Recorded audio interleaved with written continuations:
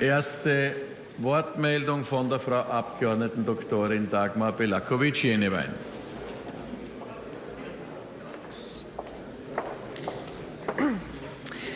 Danke, Herr Präsident, Herr Bundesminister, werte Kolleginnen und Kollegen. Ja, es sind jetzt wieder eine Reihe von Gesetzestexten.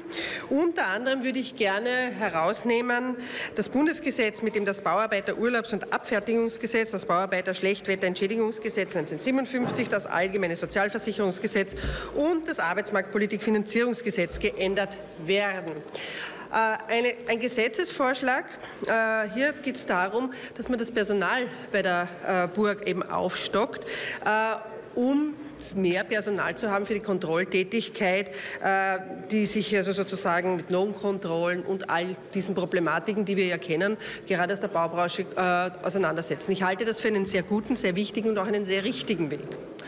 Denn eines, und das wissen wir, Lohndumping findet in Österreich statt. Und ich höre ja förmlich schon, dass jetzt wieder aus allen Seiten kommen wird, ja, Sie von der FPÖ waren ja gegen das Lohn- und Sozialdumpinggesetz. Ja, Genau, weil es findet nach wie vor Lohndumping statt. Das heißt, ein Gesetz, das eigentlich das Papier nicht wert ist, auf dem es steht. Und daher haben wir auch nicht zugestimmt und wir haben das auch immer begründet.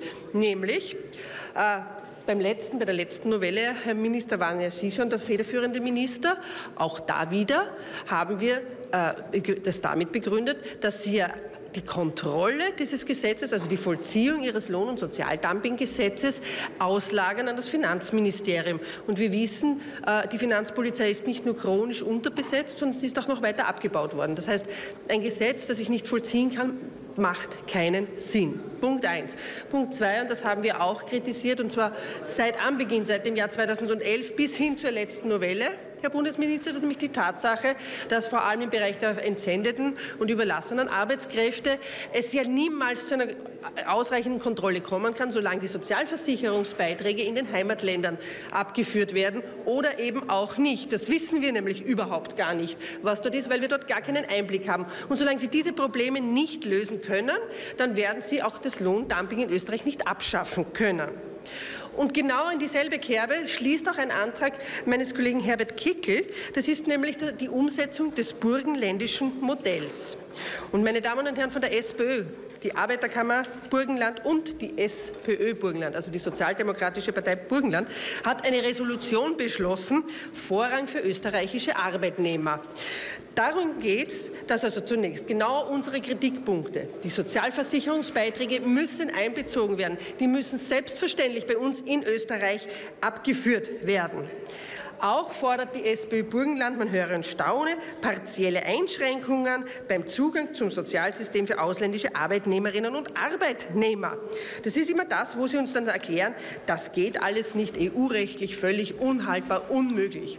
Meine Damen und Herren, Offensichtlich sind sie sich in der Sozialdemokratie gar nicht so einig, ob das jetzt möglich ist oder nicht möglich ist. Und nachdem die Arbeiterkammer hier auch mitgearbeitet hat, denke ich, gibt es hier durchaus Möglichkeiten. Und genau das ist das Problem, das ich hier sehe. Sie wehren sich prinzipiell gegen alles, was den österreichischen Arbeitsmarkt schützen könnte bzw. gerechter gestalten könnte. Denn die Problematik ist ja aus der Ungerechtigkeit heraus. Die Ungerechtigkeit bei den entsendeten Arbeitskräften, wo wir nicht wissen, wird Sozialversicherung abgeführt oder nicht. Denn Sie wissen ganz genau, Herr Bundesminister, und das ist ein Problem, das seit vielen Jahren bekannt ist, die werden einmal in ihrem Heimatland angemeldet, dann werden sie nach Österreich geschickt, arbeiten hier und am nächsten Tag werden sie im Heimatland von der Sozialversicherung abgemeldet. Das ist eine Tatsache, das wissen Sie ganz genau, das weiß die die Arbeiterkammer, die hat das schon oftmals aufgezeigt, auch die Gewerkschaft hat es teilweise aufgezeigt. Und trotzdem passiert hier nichts. Trotzdem wird seit dem Jahr 2011 weiter gewurschtelt wie bisher. Und man versucht halt immer noch eine Novelle und jetzt wird es gut werden und jetzt machen wir noch eine Verschärfung eines Gesetzes. Wir vollziehen es nicht und wir können es teilweise eben auch nicht vollziehen. Und daher ist es eben so notwendig und so wichtig, dass wir uns in wirklich, vor allem in den belasteten Branchen, hier endlich einmal auch etwas trauen. Und zwar wir, meine ich, wir als österreichische Republik, dass wir sagen,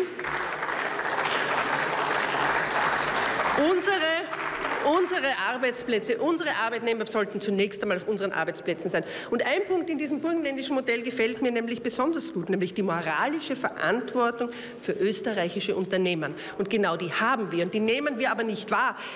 Herr Bundesminister, die müssen Sie endlich auch wahrnehmen. Wir müssen endlich auch wieder zu einer Bevorzugung der österreichischen Unternehmen kommen.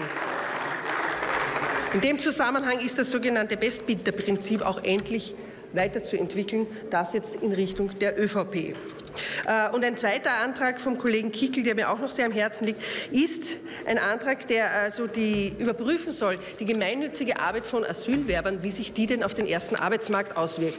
Denn eines darf nicht passieren, dass Asylwerber dann als billigst mehr als billigst Arbeitskräfte, also ganz, ganz billig Arbeitskräfte am ersten Arbeitsmarkt äh, Arbeitsplätze verdrängen. Dann wäre diese Idee, die hier geboren wurde, eigentlich eine ganz, ganz schlechte, weil es nichts anderes wäre, als wiederum Arbeitslosigkeit zu produzieren. Belakowitsch-Jenewein von der FPÖ wirft der SPÖ vor, die österreichischen Arbeitnehmer nicht richtig schützen zu wollen gegen Lohndumping durch Arbeitskräfte aus dem EU-Ausland.